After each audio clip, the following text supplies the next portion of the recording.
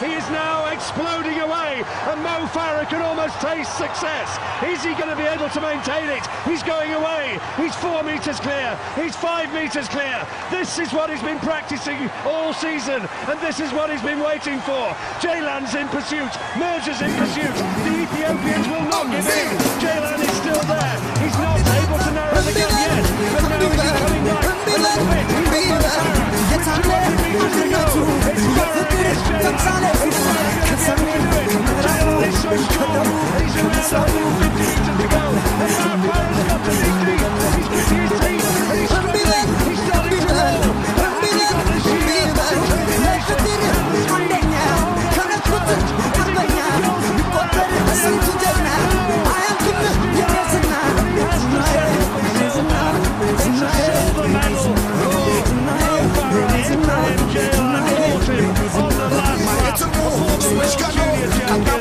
He's